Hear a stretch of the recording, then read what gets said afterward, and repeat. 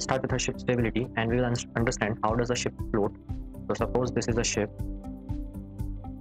and it is floating at some draft. So we have to know that how it is floating. It is made up of you know iron steel and many other heavy metals and equipments. So, but still it is floating in water. So floating on the surface of water. So how it is floating how it is floating that is our question.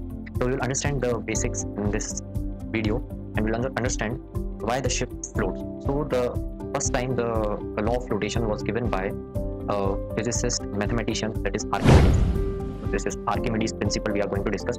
On this the whole story is uh, dependent. So the whole story is based on this archimedes principle that how the ship is floating. So what he states he states that when a body is wholly or partly immersed in a fluid it suffers an apparent loss of weight that is equals to the weight of the fluid displaced. So if you take a container and fill it with water and you put some weight inside so it will displace some water. It will displace some water.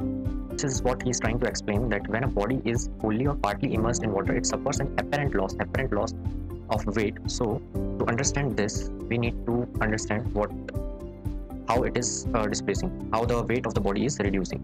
So suppose suppose this is a block and we are attaching the spring balance to it spring balance and it is showing it is showing 5000 kgs or 5 tons. We are immersing this block in uh, in water. Okay. So now when we will see the spring balance it is showing 4000 kgs or 4 tons. It is done. Water is displaced. So this is one cube uh, volume. Is one cubic meter. So the one cubic meter so around 1000 kgs it has displaced. So if water is displaced water displaced is 1000 kgs. So how much is remaining now? That will be 5000 kg minus 1000 kg. So now how much it will show? Spring balance will show uh, 4000 kg that is 4 ton. Okay so this is the effect when we are submerging something in the water. So the weight of the block is reduced. So this is what the archimedes is trying to explain. After that there is the principle of flotation. So when a body is floating in a liquid we know when a body is floating in a liquid like a ship is floating in water the weight of the liquid displaced is equal to the weight of the body. For a ship to float in water it should displace the water. It should displace how much amount of water? It should displace it should displace the water equal to its weight. Only in we have this 5000 kg block. And it is displacing 1000 kg of fluid 5000 kg of block displacing 1000 kg of fluid. So it will it will definitely sink. Why it is sinking? Because it is not displacing 5 kg. Oh sorry 5000 kg. So it will sink. The second example. This is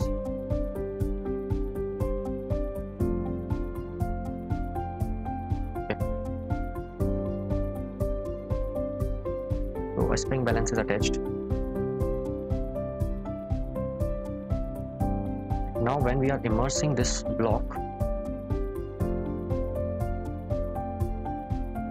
we are slowly slowly immersing this block. When we um, immerse this block till here then the weight it is showing is now earlier the weight was uh, suppose 5000 kgs. Okay now slowly slowly it is reduced to 4000 kgs. Okay now further we will immerse it till here then its weight reduced to 3000 kgs. Then I will immerse more till here then it is 2000 kgs.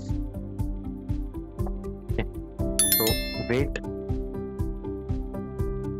is equals to at one point it will achieve an given weight equals to water displaced. Okay. at that point when the weight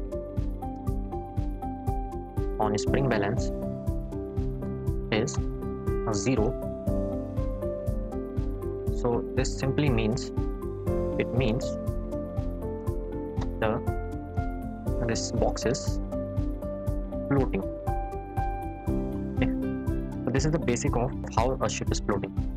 In further videos we will discuss more topics and uh, we will continue